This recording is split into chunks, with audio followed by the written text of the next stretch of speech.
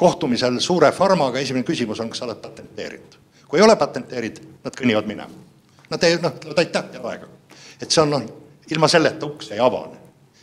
ja isegi, kui sa oled, mitte ei ole veel avaldanud ja oled varajases staadiumis, pakud neile ideed, siis nende esimene küsimus on see, millal plaanite patenteerida. ilma, ilma selleta ei tule, ei tule mitte midagi kui me vaatame meie äh, investeeringute allikaid, siis see on võrdlemisi üksluine võrreldes äh, väga arenenud äh, teadus-arendusmaadega. meil on ainult valitsussektor ja siis kasumitaotlusega erasektor, aga puuduvad näiteks annetused, puudub akadeemiline või kõrgharidussektor, mida ilmselt ei ole ka lihtsalt välja toodud.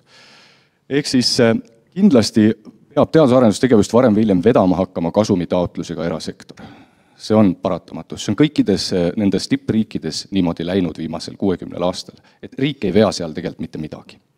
tuleb võib-olla meenutada seda, et eh, noh, rohkem kui viiskümmend protsenti, võib-olla isegi üheksakümmend protsenti sellest teadusest, mida Eesti teadlased teevad, mitte kunagi Eestis ei rakendata.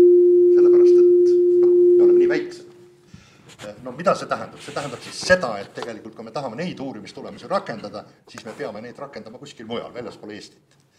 ja, ja see tähendab siis seda, et meil peaksid olema kontaktid rahvusvahelise äh, ettevõtlusega, äh, rahvusvahelise, miks mitte, finantskapitaliga, ja siin, ma arvan, hakkavad suured probleemid mul on rahaküsimus ikka ka.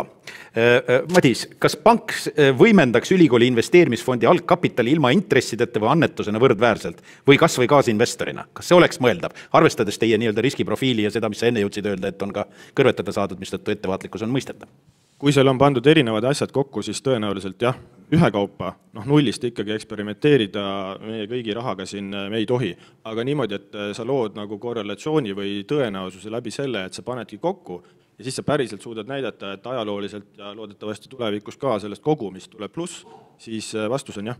me oleme seda teistes valdkondades äh, niimoodi nagu kombinatsioonina suutnud teha.